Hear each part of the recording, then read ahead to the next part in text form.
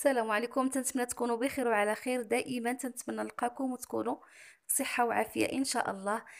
اليوم غادي نحضر معكم كيش بالتونة أو التون المعلب سهل بزاف بزاف حشوة ولا أروع وتتحضر في دقائق. في عشرة دقائق ممكن توجدوا هاد الحشوة وتحطوا لي كيش ديالكم يطيبوا. اللي غادي نحضروا إن شاء الله بالعجينة المكسرة أو لابات بغيزي اللي كنت حضرت معكم من قبل. وحطيناها في المجمد. تنتمنى تجربوا الوصفات اللي نحضر معكم. وشاهدوا هذا الفيديو للآخر. غتلقاو فيه جميع التفاصيل والإجابة على بعض التعليقات اللي جاوني في الفيديو السابق ديال تحضير هذا العجين والاحتفاظ بها.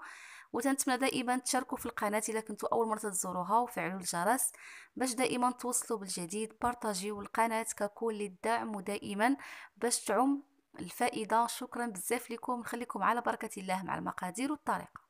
قبل ما نبدأ الفيديو بالنسبة للأخوات اللي ما بقوش يتوصلوا بالاشعارات ديال القناة فما عليكم إلا تلغيو الاشتراك وترجعوا تشتركوا من جديد وتفعلوا الجرس. هذا هو الحل باش توصلوا بالاشعارات هذا راه مشكل في اليوتيوب. شكرا بزاف لكم نبدأو على بركة الله بالحشوة اللي سهله بزاف ولذيذة.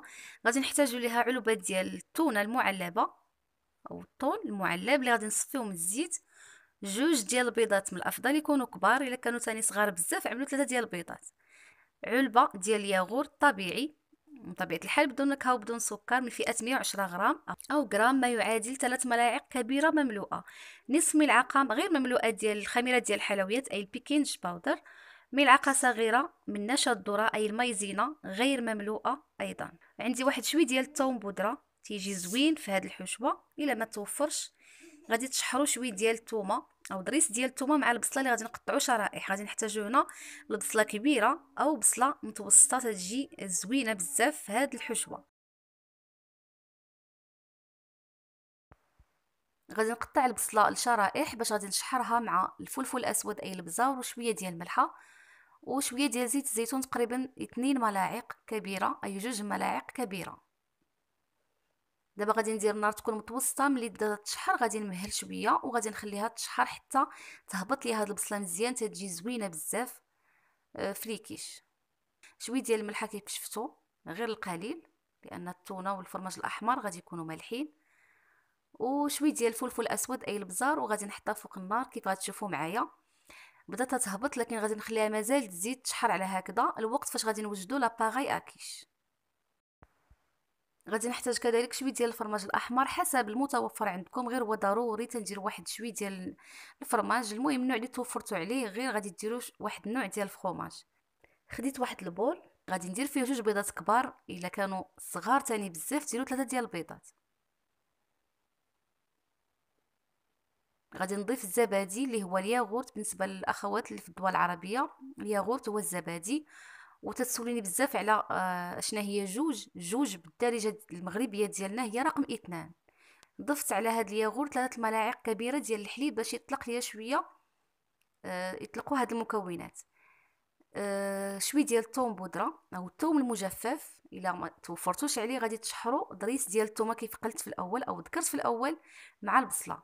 ضفت نصف ملعقة ديال الخميرة ديال الحلوه تعطينا واحد واحد تيجي سوفلي هذا الخليط مزيان إلى طاب وملعقة صغيرة ديال النشا غير مملوءة والقليل من الفلفل الاسود حسب الذوق والقليل فقط من الملح لأن التونة والفرماج مالحين. بالنسبة للنشا ماشي ضروري غير الطفرة تنضيفوها النشا هي المايزينا غادي نخلط الكل. ممكن تضيفوا هنا ثلاثة ديال القطع ديال الفرماج المثلث أو المربع حسب الذوق ديالكم أو تكتفيو غير بإضافة الفرماج الأحمر كيف غادي نعمل. وبعد المرات تنديرهم بجوج تندير الفرماج الأحمر وقطع من آه، قطعتين ولا ثلاثة من الفرماج المثلث أو المربع. راه تيجيو تا هما زوينين في هاد الحشوات. بالنسبة للبصلة هكذا بغيتها هبطات مزيان والمذاق ديالها تيجي زوين هكذا غير بالملحة البزار زيت الزيتون. غادي نخليها حتى تبرد أو تدفى المهم ما تبقاش هكذا سخونة. الوقت فاش غادي نضيف شوية ديال الفرماج الاحمر في هاد لاباري اللي حضرنا وكذلك غادي نضيف العلبة ديال التونة اللي صفيت من الزيت. غادي ندير واحد الكمية اللي تكون شوية كثيره شوية. تتجينا هاد الحشوة هادي معلكه وبنينة. الفرماج الأحمر راه بنين غير بوحدو. إلا ما توفرتش عليه بكمية كبيرة غادي تضيفوا قطع من الجبن أو الفرماج المثلث أو المربع كيف ذكرت. غادي نضيف كذلك الثوم وغادي نخلط مزيان حتى يبقاو غير واحد القطع تيبانو صغار شوية من الحشوة.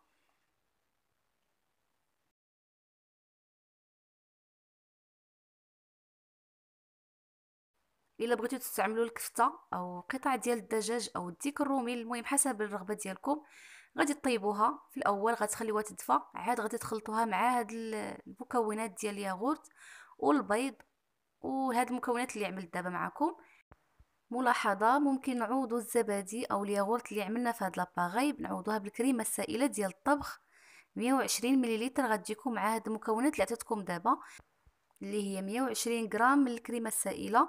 إلا عملتوا واحد الكمية كثيره ديال ليكيش غادي تضاعفوا الكمية ديال الحشو كذلك ديال الزبادي أي الياغورت أو الكريمة السائلة حسب اللي استعملتوا بالنسبة للكيش كانوا عندي في المجمد هما اللي حضرت معكم إلى عقلتوا حضرتهم معكم في واحد الفيديو سابق. كانوا عندي في الفريغو أي المجمد. بزاف الأخوات سولين واش نحتفظ بهم في الثلاجه أو المجمد. في الثلاجه ممكن يبقاو معكم حتى لخمس أيام أو ست أيام لكن من الأفضل احتفظوا بهم في المجمد بيبقاو معكم مدة طويلة راه تيفوتوا شهر وتيبقاو مزيانين. خرجت غادي ناخذ الكمية اللي محتاجة اللي غادي تكفيني لهاد الحشوة. غادي نخليكم إن شاء الله الرابط ديال هاد الوصفة في أعلى الفيديو غيظهر لكم وغادي نخلي لكم كذلك في صندوق الوصف. نخليكم الوصفة كاملة تشوفوها وكذلك نخليكم نكتب لكم نصف المقادير اللي استعملت باش إلا بغيتو تجربوا غير نصف المقادير إن شاء الله تلقاوهم. راها ناجحة جدا هذه الوصفة الأصلية للعجين المكسر. شكلت ما بين قوالب متوسطين وكبار شوية وواحد المول هكذا مربع كنت حضرته معكم تشوفوا حتى هو كيف تيجي. أنا راه مازال عندي واحد الكمية في المجمد راه كنت حضرت واحد الكمية اللي مزيانة.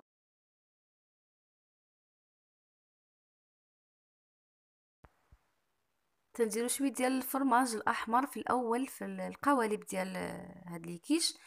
هو الأول تيعطينا ديك التعليكة وتيجينا شي حاجة مقرمشة وبنينة عاد تنضيفو الحشوة. المهم ضفت واحد شوية ديال البصلة في كل قالب ودابا غادي نضيف هذيك الحشوة ديال آه لاباغي اللي وجدنا بالبيض وبالتونة وبالفرماج. ما غاديش نعمرهم حتى للفوق ما يفيضوش تاني باش يخلي واحد نخلي واحد المكان فين غادي يطيبوا المهم عينكم ميزانكم. بالنسبة للفرن الكهربائي سخنوا على 180 درجة وحطوا لي كيشعلوا غير من التحت حتى يطيبوا تياخذوا من 20 دقيقة حتى ل 25 كأقصى وقت. المهم حسب الفرن ديالكم دائما. عاد شعلوا الفوق يتحمروا ما تياخذوش الوقت بزاف في الطياب ردوا البال. وبالنسبة للفرن ديال الغاز بحال تنطيبوا الكيك النار تكون فوق المهيلة وطيبوهم من التحت عاد هبطوهم يتحمروا أو نزلوهم يتحمروا. تيجيو هائلين.